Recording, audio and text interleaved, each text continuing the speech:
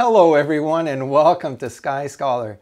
Today we are going to continue our look at the chromospheric emission lines. I hope that you watched the last video on the subject. It is an essential step to understanding this presentation.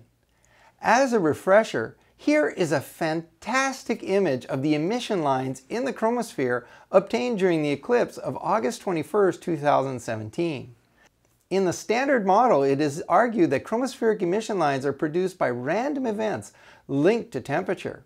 Hydrogen condensation reactions are never considered. But in my earlier presentation, I argued that the chromosphere was acting to harvest hydrogen through condensation reactions. Now I want to present direct evidence that chromospheric emission lines are not randomly produced. The most striking proof comes from considering the emission lines of helium. But in order to do this, one must learn a little spectroscopy. It will not be hard, so hang in there. If you consider the helium atom, it has two electrons. In helium's lowest energy state, both of these electrons occupy the 1s shell. They are anti-parallel to one another, and we say that the net spin of the system is zero.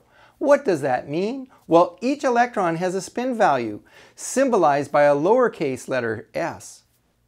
For an electron, the magnitude of the spin is equal to 1 half. But spin can also have direction. If it is spin up, then we say that the spin is equal to plus 1 half. If it is spin down, it is equal to minus 1 half.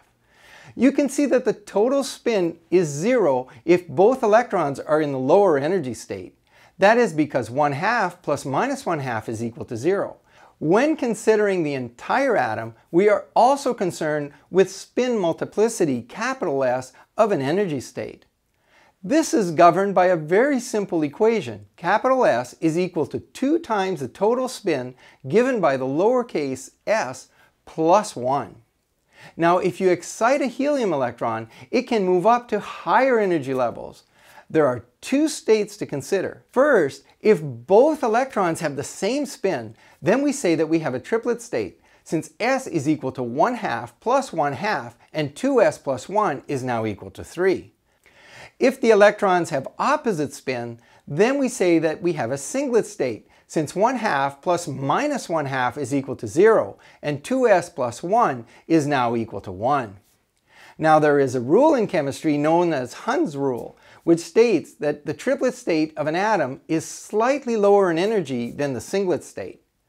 Now let's look at our helium atom with two electrons in the ground state. You can think of exciting one of the electrons into the upper energy level. But when this occurs, the electrons follow what are known as selection rules. The spin of the electron that makes the transition must not change, or stated mathematically, delta S must be zero.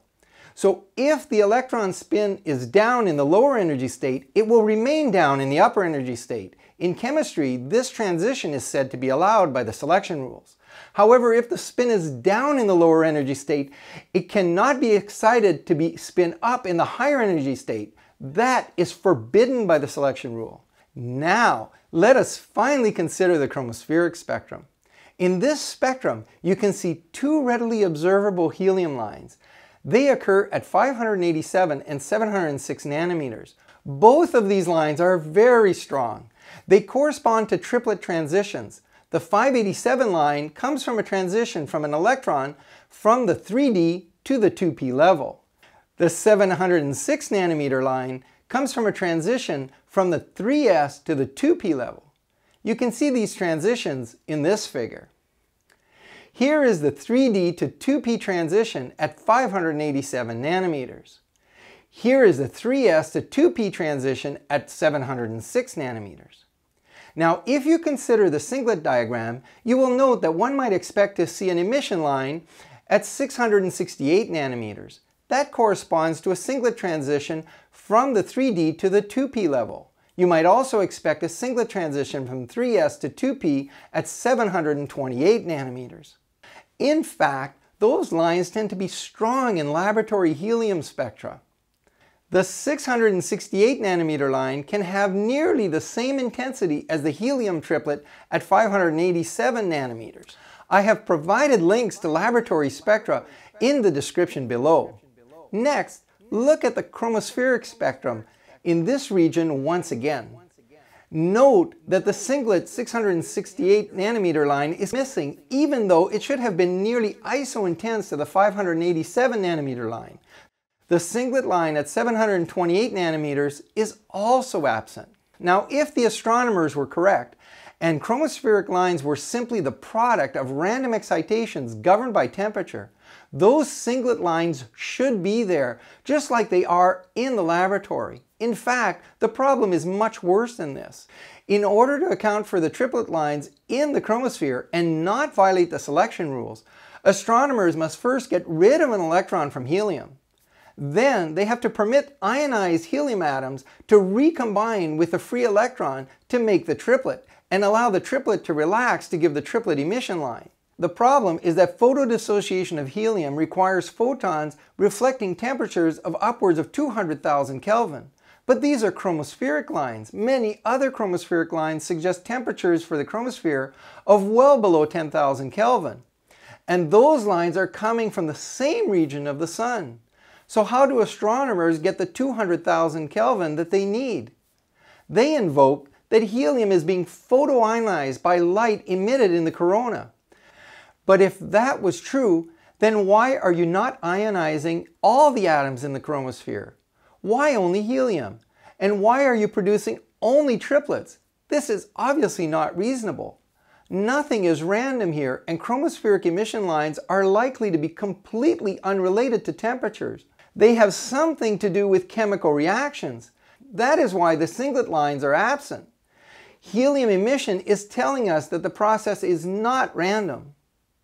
It is also important to pay attention to helium-2 emission lines. Those lines are produced when helium has lost an electron.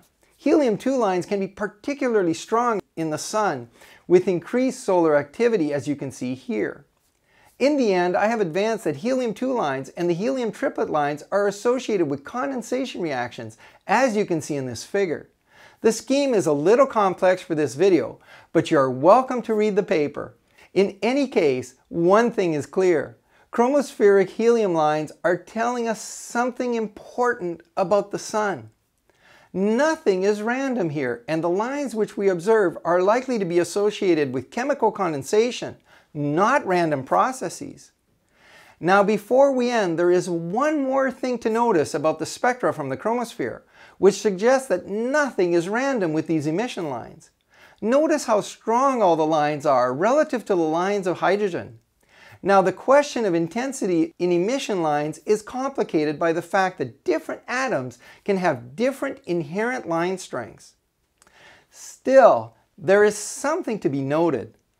By total number of atoms, oxygen is supposed to have an abundance of less than one-tenth of the percent of the number of hydrogen atoms in the Sun. Yet look at the strength of the oxygen line around 780 nanometers. Then consider the calcium lines at 490 and 860 nanometers.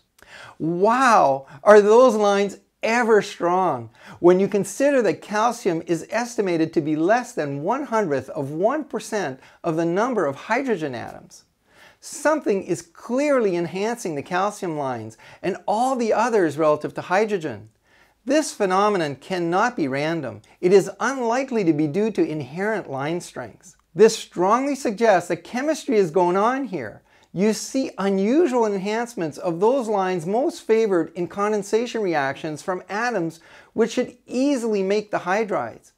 I've added a link below to the abundances of elements in the sun if you are interested. Such estimates are complex and take in many factors, but they are also a reasonable guide.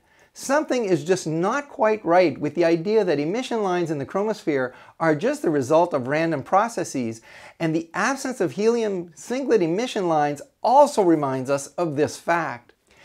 If you enjoyed the video today, promote the channel, support it with a like, and subscribe for more videos as we look more closely at the sun, the stars, and beyond. Comments are always welcome down below, and I'll see you soon on our next video.